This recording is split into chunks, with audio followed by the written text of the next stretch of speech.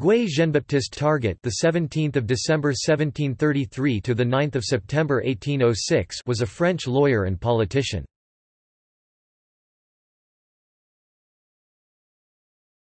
Topic: Biography.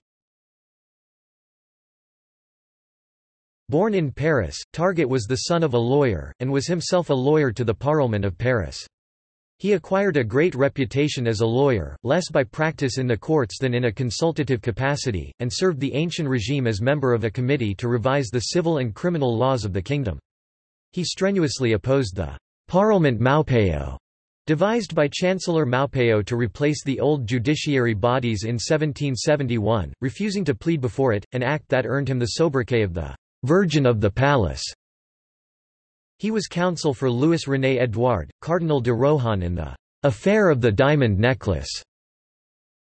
In 1785, he was elected to the Académie Française. He contributed to the development of the Edict of Tolerance signed at Versailles by Louis XVI in 1787.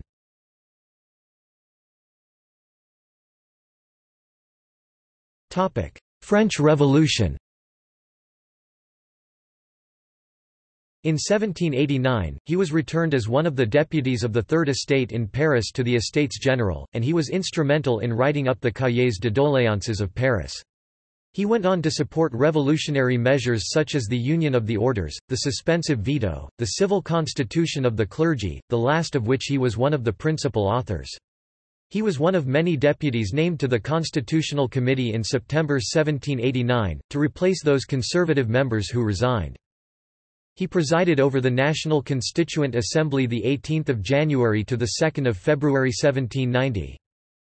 His excessive obesity, which made him the butt of the royalist jokes, prevented his practicing at the bar for some years before 1789.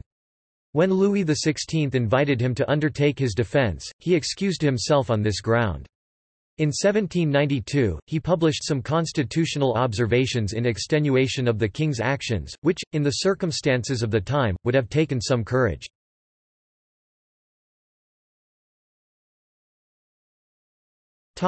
From Thermidor to Empire Target took no part in public affairs during the Reign of Terror.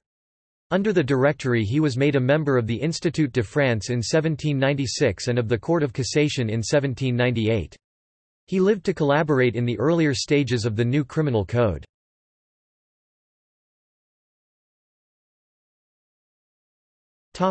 Works